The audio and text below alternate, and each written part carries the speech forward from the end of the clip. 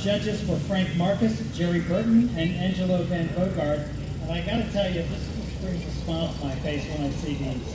There were 11 vehicles in the class, a total of four winners, and our Lion Award, which is the first vehicle that you see.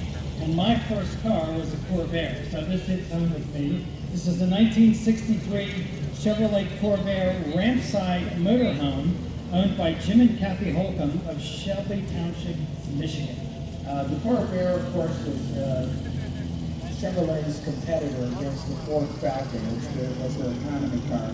All of these Falcons and uh, Corvairs came out uh, after to, to go against AMC in the